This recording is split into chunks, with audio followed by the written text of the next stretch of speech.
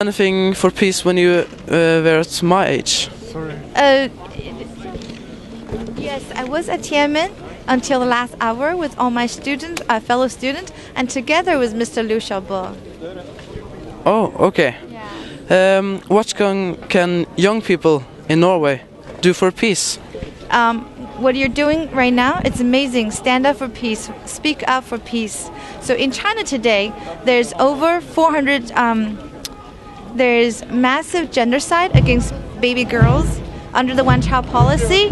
So you can join the allgirlsallowed.org movement and be part, become that force to save lives. Okay, thank you. Can I take a picture